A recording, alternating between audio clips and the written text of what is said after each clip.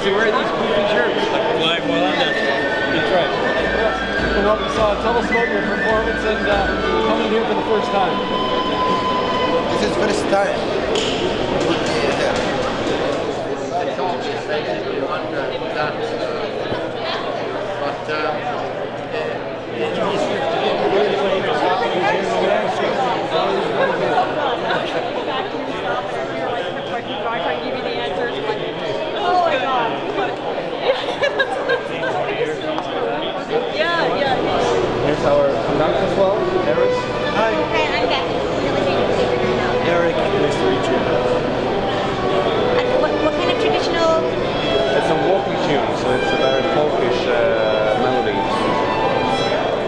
Ladies and gentlemen, my name is Jim Ford. I'm the producer of the uh, Royal Nova Scotia International Tattoo.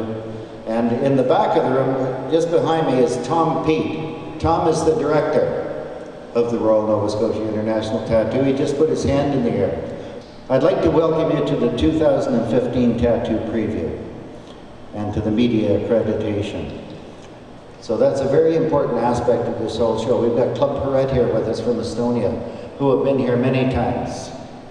And uh, you keep on asking for them to come back.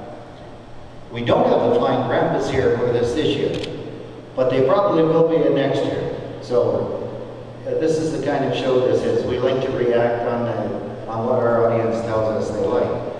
Now, I would like to ask you to follow the Middlesex County Volunteers Fifes and Drums. They're going to take you all into the arena where you're going to get a little smattering of this year's show.